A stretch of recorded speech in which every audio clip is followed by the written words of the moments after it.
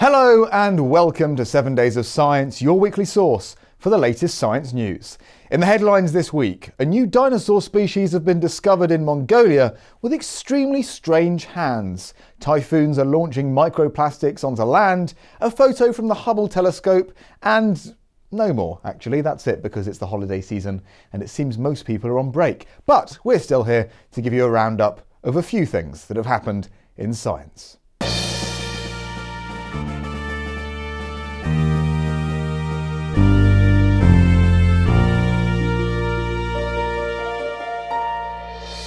Check out our video on the oldest evidence of humans creating fire to see Ben and me unbox the science-filled Winter Curiosity Box. And remember that there's a limited time sale on at the moment. Get a free box with a new subscription, so go and use our super special affiliate link down below to get yours now. Our top story this week is the naming of a new species of strange little dinosaur from Mongolia. This is a rather fantastic new species with some of the most unusual hand anatomy paleontologists have ever seen in one of these animals. Discovered in latest Cretaceous aged rocks in the Gobi Desert, approximately 66 million years old, this dinosaur is known from a partial skeleton. This skeleton includes parts of the backbone, pelvis, back legs, and most importantly, the forelimbs. The species has been given the name Manipulonyx reshetovi, a particularly appropriate name given the anatomy of the hands.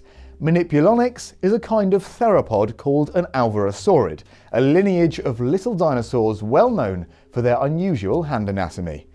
The most famous alvarezsaurid is Mononykus, which has very stout, robust arms that bear a single enlarged functional claw.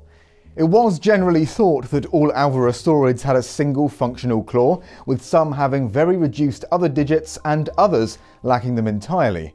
The most widely accepted hypothesis was that these claws were used for scratch digging, likely to burrow into things like termite nests that the animals would then feed on with their elongate, quite tube-shaped snouts. But now, with the discovery of Manipulonyx, there's another idea about how these dinosaurs lived. This is the first time the entire hand of one of these dinosaurs has been discovered. In addition to the main enlarged claw, it turns out that it had two smaller but fairly well developed digits next to the big one, plus three spikes on the hand. One of these spikes was positioned on the palm of the hand, while the other two projected out from the sides. So, this dinosaur was certainly manipulating something interesting with its hands. The paleontologists who described the new species hypothesized that this dinosaur and its relatives were not, in fact, digging out termite nests. Rather, they suggest that this anatomy is much more consistent with these alvarezsaurids being egg eaters. The hands do appear to be perfectly suited to grasping onto the eggs of other dinosaurs, with the spikes being used to brace against the shell as the digits flexed. If this turns out to be confirmed by further fossil discoveries, then it would be quite the turn of events. Instead of the now outdated view of oviraptorosaurs being specialised egg thieves, which had been popularised for a long time in paleo media, it might actually have been the Alvarezsaurids who were the egg stealers this whole time. It's a really fascinating discovery, and what a way to end the paleontology news of 2025. Also in the news, a research team in China has carried out some fascinating research to find out if typhoons transport plastic from the ocean towards land and deposit it there. They collected atmospheric fallout every 12 hours in China as typhoons made landfall. Before each storm, microplastic deposition stayed low and steady, with the air mostly containing common urban plastics. When the typhoons arrived, everything changed. Deposition rates jumped by up to 10 times, and then collapsing back to baseline once the storm passed. The types of plastic also changed. They found dense polymers, plastics which are normally found in marine sediments and deep ocean environments, not urban dust. Crucially, more than 60% of these particles were tiny, at under 280 micrometers.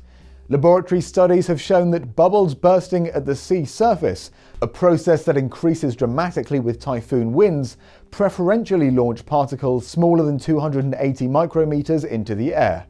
Wind trajectory models also have shown that the storm air travelled directly over storm disturbed ocean, not over inland landmasses. The scientists concluded that typhoons churn plastic up from the ocean depths, fling it into the air through violent wave breaking and bubble bursting, carry it inland on extreme winds, and then dump it onto land in the rain. Now, with our annual Christmas to New Year's drought of science papers being published, we haven't got a massive wealth of news to choose from, but NASA, clearly to help us out, have very kindly published a wonderful image taken by the Hubble Space Telescope of a region next to N159, a giant group of clouds in the Large Magellanic Cloud, which is a dwarf galaxy that orbits the Milky Way. It's about 150 light years across, which is small indeed in comparison to the Milky Way, which is 100,000 light years across. This particular region is a star forming complex where dense clouds of cold hydrogen act as a nursery for newly formed stars to shine. Their radiation is what gives the surrounding gas its red tinge, with the brightest areas being those with massive hot young stars, which are so big they hollow out the area around them. All this material is being shuffled around by the young stars themselves and those still forming, showing just how much stars in different stages of life can interact with the material around them. Just this image alone can tell us so much about the Large Magellanic Cloud, star formation, and the early life of stars big and small. Well, that's it for the news this week. I really hope you enjoyed learning about everything that's happened in these last seven days of science. Also, if you haven't seen the video over on the Ben G Thomas channel about the speculative evolution of the Loch Ness Monster, we now have a revamped and much improved merch store, which will be linked down below. We're very pleased with our speculative Nessie design in particular. We're currently working on building a 7 Days of Science shop as well, and that should be up and running soon. You can follow 7 Days of Science on Instagram and also be sure to support us on Patreon if you enjoy what we do here.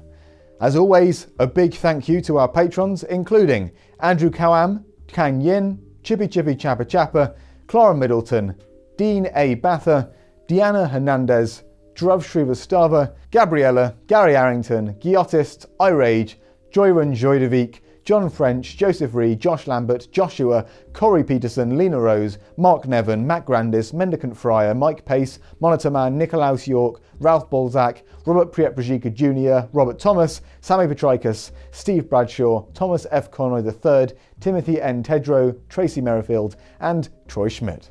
Thanks for watching, and we'll see you all next week.